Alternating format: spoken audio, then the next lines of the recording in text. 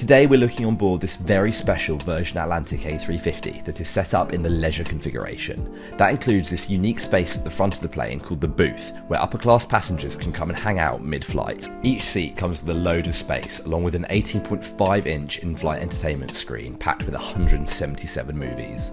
When it's time to sleep, your seat will convert into a fully flat bed along with pillows and mattresses provided by Virgin. We're taking a look at Virgin Atlantic's brand new retreat suite on their Airbus A330-900 Neo. It consists of two exclusive suites at the front of the cabin. These convert to a fully flat bed and come with 27-inch touchscreen TVs with Bluetooth connectivity and wireless charging for your devices. In addition to the retreat suite, the A330 Neo will offer 30 brand new upper class seats. It has passenger controlled mood lighting, a 17.3 inch touchscreen TV, and a vanity mirror. Virgin's expected to launch its new aircraft for customers in October, with London to Boston tickets going on sale later this month.